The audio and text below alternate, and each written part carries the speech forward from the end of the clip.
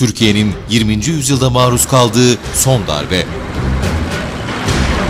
Ben 28 Şubat'ı e, içeride gelişmiş bir e, operasyon olarak görmüyorum.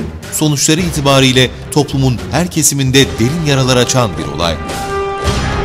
Sadece resmi generaller eliyle değil, sivil generaller eliyle. E, maalesef Refah Yol hükümeti düşürüldü. O gün dayak yiyenlerin bugün iktidarda olduğu e, süreci inşa etti. Tanıkları, mağdurları ve uzmanları anlatıyor. Gerekirse 2 milyon kişi ölecekti. Eşim mağdurdur. Oğlum mağdurdur. Gelinim mağdurdur. Demokrasiye vurulan darbe 28 Şubat belgeseli yarın akşam 21.15'te TRT Haber'de.